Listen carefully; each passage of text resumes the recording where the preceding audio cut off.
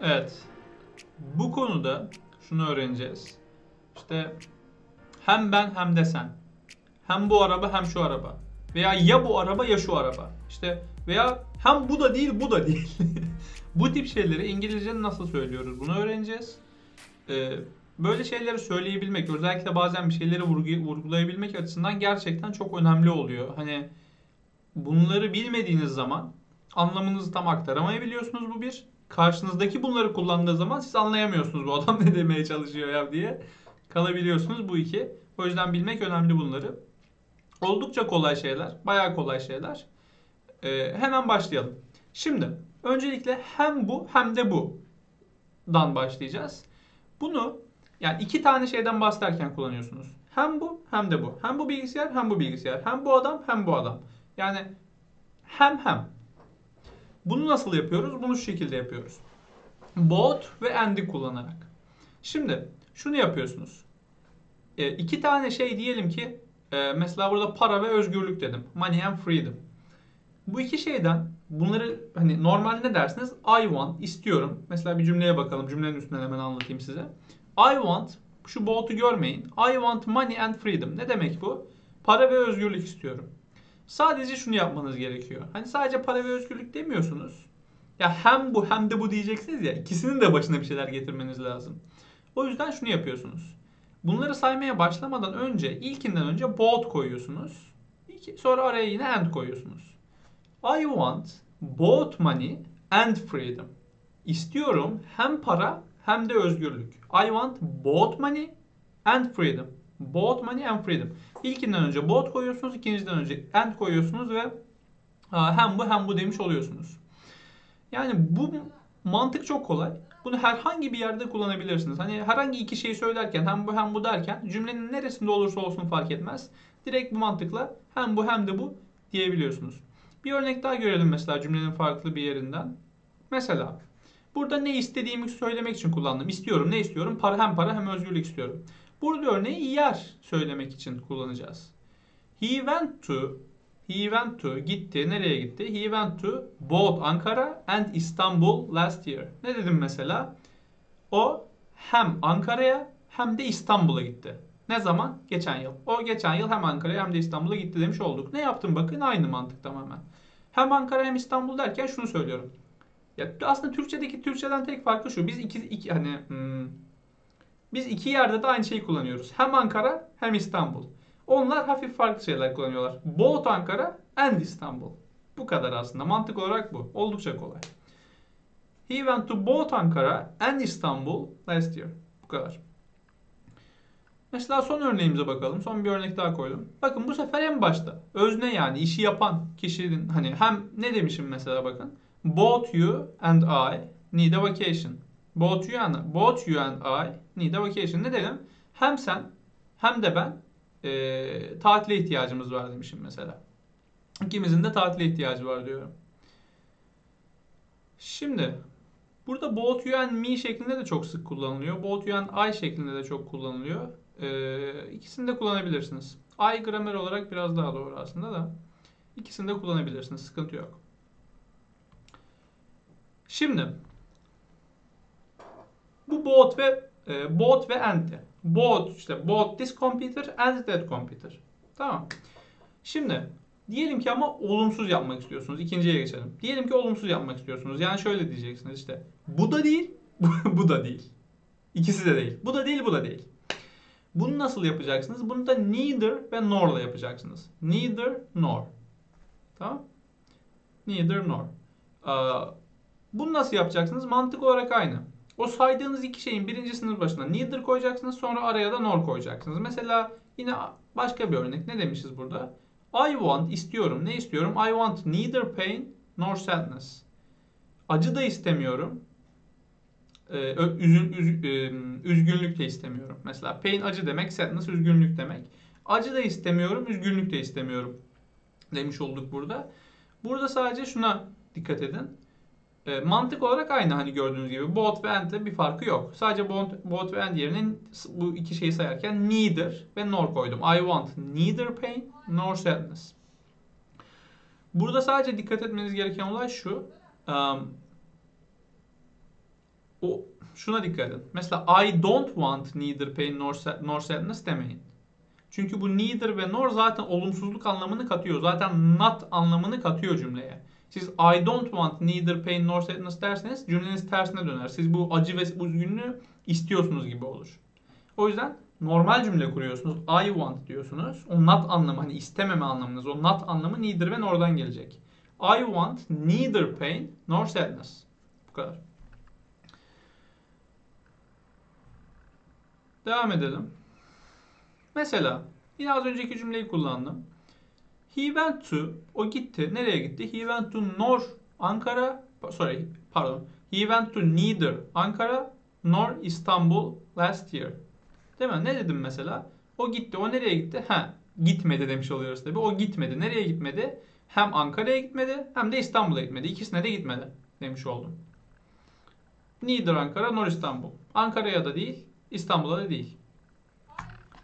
Üçüncüsü neither you nor I need a vacation. Ne senin ne de benim bir tatile ihtiyacımız var. Bitti. Neither you nor I. Sonuncu şeyimize geldik. Bundan sonra beraber birkaç egzersiz yapacağız. Bir üç tane koydum yanlış hatırlamıyorsam. Ee, ondan sonra e, ondan sonra ne olacağını ondan sonra söylerim.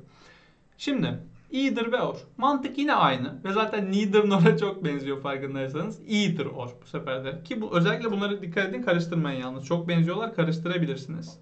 Either or'u ya birisi ya öbürü derken hani birinden birisi olacak ama ya bu ya bu. Neither ve nor olumsuz ikisi de değildi. Onu şeyin aklınızda tutabilirsiniz. Yani neither nor'da şu özellikle nor'da no var direkt içinde. Hatırlarsanız. Değil mi? O olumsuz o yüzden. Ama or ya da demek biliyorsunuz zaten. Yani ya bu ya bu. Ya bu ya bu. Mesela örnek bakalım hemen. Um, I want either a computer or a TV. Ne demek bu? İstiyorum. Ne istiyorum? I want either a computer ya bir bilgisayar istiyorum or a TV ya da bir televizyon istiyorum. Bunu demiş olduk mesela. Ne yaptık? Mantık yine hep. E, mantık hep aynı zaten. Hani iki tane söylediğimiz iki şeyin birincisinin başına either koydum, ikincisinin başına da or koydum. O kadar. I want either a computer or a TV. İkinci örnek. He will go to either Ankara or Istanbul next year. Gidecek. Nereye gidecek? Ya Ankara'ya ya da İstanbul'a gidecek. Ne zaman? Gelecek yıl. He will go to either Ankara or Istanbul last, uh, next year. Son örneğimize bakarsak. Either you or I need a vacation. Ya senin ya da benim bir tatile ihtiyacımız var demiş oluyorum. Ee, yani buradaki olay ne bilmiyorum. Niye sadece birisinin tatile ihtiyacı var diye. Ama onu hayal edin artık. Kafanızda uydurabilirsiniz bir şeyler. Ama mantık olarak bu. Either you or I. Mantık aynı hep. Şimdi inşallah anlaşıldı. Ee, bir egzersiz beraber yapalım. Ha pardon, pardon, pardon, pardon. Ee, bunların bir tane daha kullanımını size öğreteceğim egzersizlere geçmeden önce. O kullanıma da bakalım sonra egzersizlere geçeceğiz. Şimdi burada az önce öğrendiğiniz şeyler sizin şöyle şunlardı. Mesela hem bu hem de bu. Bu da değil bu da değil. İşte veya ya bu ya bu. Değil mi? İki tane şeyi sayıyorsunuz yani. Ya bu bilgisayar ya o bilgisayar. Bu tip şeyler. Ama şimdi öğreneceğimiz kullanımda şunu yapmış oluyoruz. İkisi de. Hani ikisini de istiyorum. Ya ikisini de istemiyorum. Veya işte e, ikisinden birini istiyorum. Hani özellikle iki şeyi de saymıyorsunuz da direkt ikisi de deyip ikisini de kapsıyorsunuz. Yani ya bu hem bu bilgisayar hem bu bilgisayar diye saymıyorsunuz. İkisini de diyorsunuz direkt kapsıyorsunuz. E, bunu nasıl yapacaksınız? Bunu şöyle yapacaksınız. Off'la yapacaksınız. Both, neither ve either herhangi birini kullanıyorsunuz. Sonra hemen bundan sonra da off getiriyorsunuz. Tamam. Mesela mesela bakın both of us ikimiz de demek. Both of you ikiniz de demek. Both of them onların ikisi de demek. Both of the cars arabaların ikisi de demek. Burada sadece şuna dikkat edin. Ee, hani çoğul olması gerekiyor bir kere. Both of he diye bir şey olmaz. Yani o adamdan iki tane mi var? hani sonuçta olmaz. Ee, özne kullanırken both of us diyorsunuz mesela. Both of we de olmaz bu arada. Both of us. Ondan sonra both of you, both of them. Bunlar özne kullanırken biz ikimiz, siz ikiniz, onların ikisi falan derken bunları kullanıyoruz. Bunlar dışında da hani herhangi bir işte arabaların ikisi, kalemlerin ikisi, bilgisayarların ikisi de falan falan. Böyle bir şeyler söylerken de e, çoğul yapmanız lazım aynı zamanda. Both of the cars, both of the pencils, both of the computers gibi gibi. Böyle dediğimde mesela arabaların ikisi de demiş oluyorum. Both of the cars. Neither of the cars desem arabaların ikisi de değil. Yani iki arabada değil demiş oldum. Either of the cars arabaların e, arabaların birisi demiş oldum mesela. iki arabanın birisi demiş oldum. Tamam. E, bunlar bu şekilde. Şimdi egzersizlerimize geçmeden önce bunların cümle örneğini size göstereyim hemen. Mesela I want istiyorum. I want uh, both of you here. Both of you here. Ne demiş oluyorum burada? İstiyorum both of you ikinizi de here burada. İkinizi de burada istiyorum demiş oldum. Bakın bunlar hep iki, iki tane şey kasteder. Both, neither, either hep iki tane şey kasteder bunlar. I want both of you. İkinizi de burada istiyorum. I want neither of these computers. Ne dedim? Ne dedim? Neither of. Neither of'tan sonra bu sefer these computers dedim. Bu bilgisayarların, bu bilgisayarların ikisini de istemiyorum. Bakın I want I want neither of these computers. Bu bilgisayarların ikisini de istemiyorum. Demiş oldum. Ee, kolay bir konu, çok sıkıntılı bir konu değil açıkçası. Ee, zaten ileride karşılaşa karşılaşa daha da oturacaktır. Şimdi egzersizlerimize geçelim. Birinci egzersizimiz. Toplamda 3 egzersiz koydum. Birinci egzersizimiz, egzersizimiz. Hem İtalya'ya hem de İspanya'ya gitmek istiyorum. Yani ikisine de gitmek istiyorsunuz. Ee, ya bilmiyorum ben de gitmedim şimdi. Güzel ülkeler gidin falan derdim ama gitmedim bilmiyorum. Gezmek lazım.